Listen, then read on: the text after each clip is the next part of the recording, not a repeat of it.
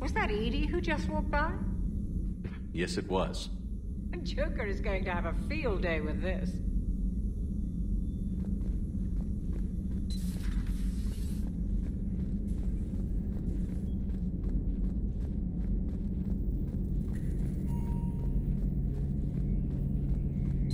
Two of our dreadnoughts have been lost in a matter of hours. I know, Primarch. I'm seeing the same numbers myself. They don't look good.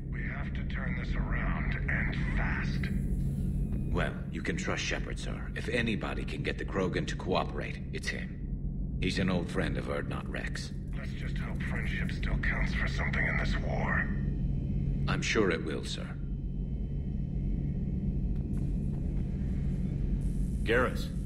Didn't waste any time getting to work, I see. After what I've been through lately, calibrating a giant gun is a vacation. Gives me something to focus on. We're gonna need you for more than your aim. Oh, I'm ready for it. But I'm pretty sure we'll still need giant guns. And lots of them. Sovereign didn't go down without a fight. I doubt a thousand more of his friends will be any different. Still not convinced I should have left Palaven behind. There was a boy back on Earth.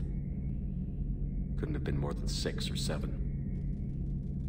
I watched him die as the Normandy escaped the attack. Somehow I'm still alive. And he's not. Being right about the Reapers has never felt much like a victory, has it? We both knew this fight would be tough. Damned if the Reapers haven't delivered. At least my government listened to me. Or pretended to. They finally gave me a task force as a token to shut me up. So you're their expert advisor now? Just followed your example, Shepard. Yell loud enough and someone will eventually come over to see what all the fuss is about. Not that they'll actually do anything about it. Until hell shows up at their door. Then they put you in charge. Not like the old days, is it? Rogue Spectre and C-Sec agents running and gunning outside the lines, making it up as we went along. We're actually respectable now.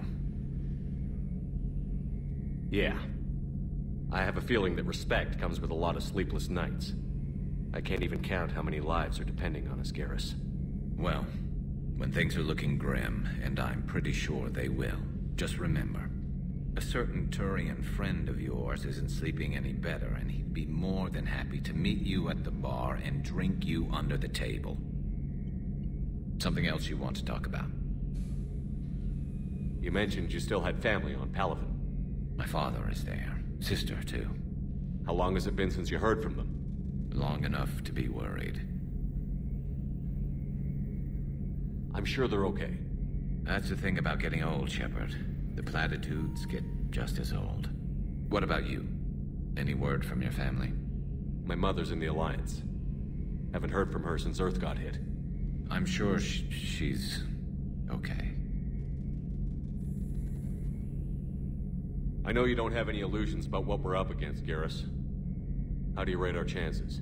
I know it looks bad now, but I think we can win this, Shepard. For the first time since we met, we're not alone in the fight. It's something I learned long ago in C-Sec.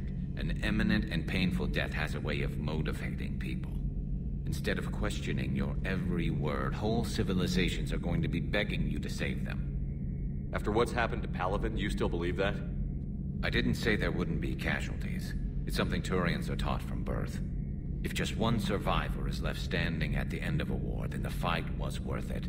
But humans want to save everyone. In this war, that's not going to happen. So what's this Reaper task force you've been running? After what happened to you out there in Batarian space, I knew time was running out. For all of us. The Citadel Council was a dead end, so I did something I never thought I'd do.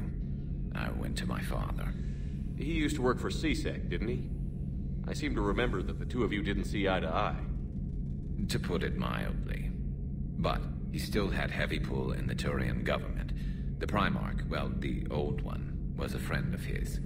So I went to my father and laid out everything we knew about the Reapers, from Saren all the way to the Collector base. I'm not sure even I'd believe it. I had to admit that parts of it sounded crazy, meeting Vigil, talking to Sovereign on Virmire. But my father just listened. It's what he did in his days at C-Sec, putting together all the pieces. If the connections were there, he wouldn't deny them, and he saw what we always knew. The Reapers were coming. I'm glad someone finally agreed. He did more than agree. He took it to the Primarch. I like his style. Except the Primarch wasn't as convinced.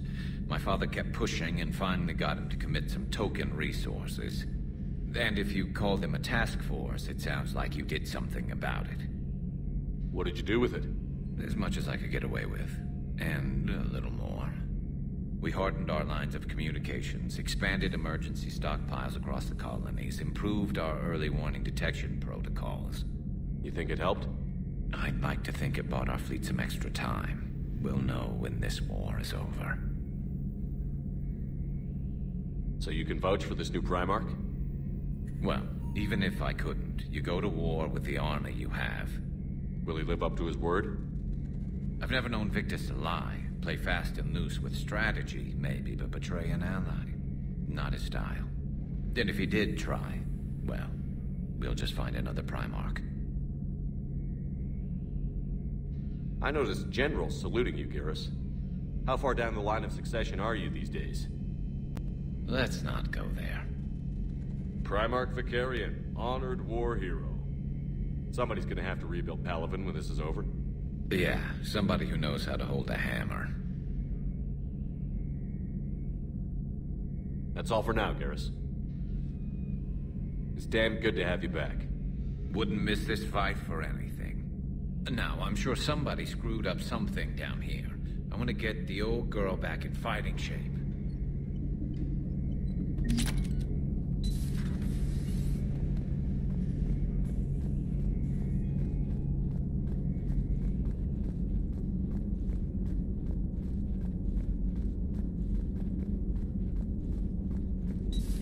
You're positive you don't want to come over and talk? No, the gun battery is nice and quiet. If I throw down some rugs, it'll get downright cozy. Garrus? I'll be fine, Liara. Just gathering some thoughts. All right.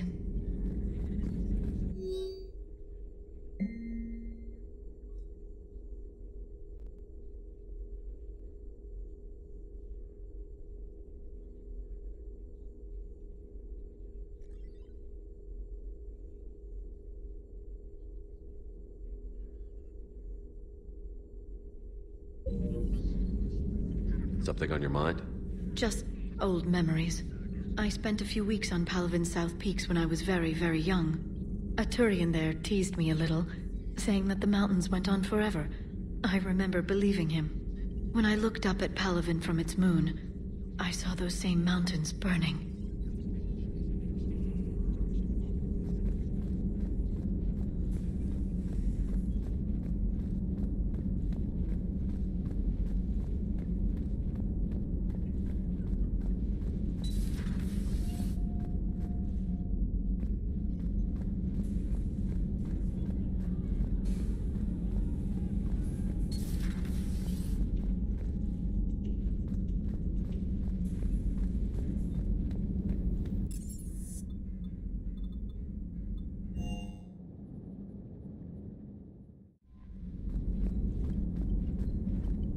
Commander, are you alright?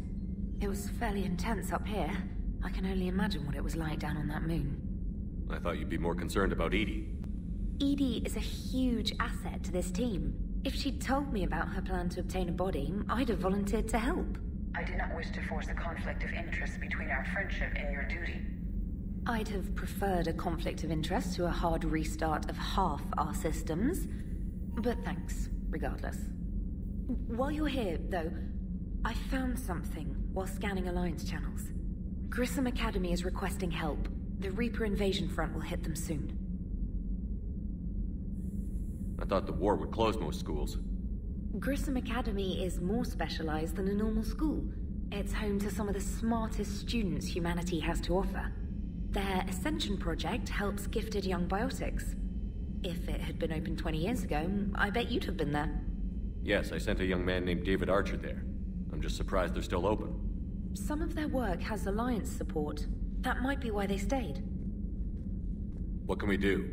A Turian evac transport responded to their distress call, so normally I'd say we don't need to do anything. But something sounded off in the Turian signal. I had EDI perform an analysis. It's fake. EDI thinks it's Cerberus. She said the fake Turian signal was similar to the one that lured you to a collector ship? Long story. In any event, whoever faked the signal wants us to think Grissom Academy's being evacuated. But I believe they're still in danger. Good catch. If this really is Cerberus, hopefully this operation is something worth investigating. It could be simple disinformation. Trainer. Good catch. Thank you, Commander.